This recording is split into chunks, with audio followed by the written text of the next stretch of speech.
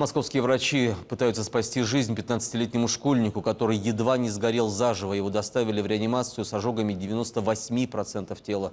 Не исключено, что подростка облили керосином и подожгли те, кого пострадавший считал друзьями. В этой шокирующей истории разбирается Следственный комитет. Подробности у Сергея Самохи.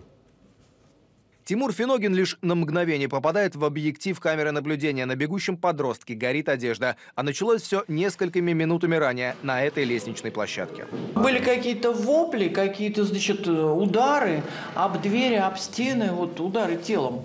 Вот, потому что чувствуется была драка. По словам Валерии Анатольевны, когда она посмотрела в дверной глазок, чтобы понять, что происходит, подъезд уже заволокло густым дымом. С пятого этажа, где все и произошло, Тимур смог пройти два лестничных пролета. Уже на четвертом на крики о помощи из квартир выбежали люди и попытались потушить подростка. Однако в какой-то момент он вырвался и побежал на улицу.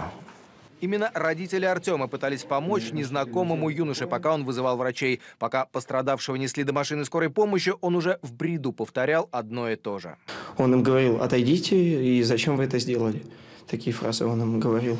Так что, судя по этому, мне кажется, что это не несчастный случай, а именно его намеренно подожгли. В уголовном деле пока свидетелями проходят двое друзей Тимура, которые были с ним в тот вечер. Олег и Камрон утверждают, что это был несчастный случай. Следователи тем временем выясняют, для чего у подростков была с собой канистра с керосином. Следователи также проверят условия жизни и воспитания подростков в их семьях. И сам обгоревший мальчик и его друзья состоят на учете в полиции. По словам мамы Тимура, все началось год назад, когда сын завел новых приятелей. Начал прогуливать уроки, потом бросил спорт и отказался поступать в школу Олимпийского резерва. Первый раз участковый посетил семью после того, как ее сын попал в больницу с алкогольным отравлением. Уже через месяц у него нашли наркотики. Он ушел полдесятого гулять, и пришла к нам уже полиция что ваш ребенок отравился феназепамом с теми ребятами, где этот его одноклассник.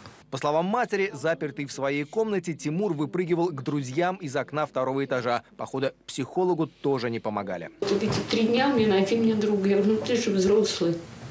У тебя было вот в начальном классе, чего у тебя там не срослось? Но в спорте друзей нету.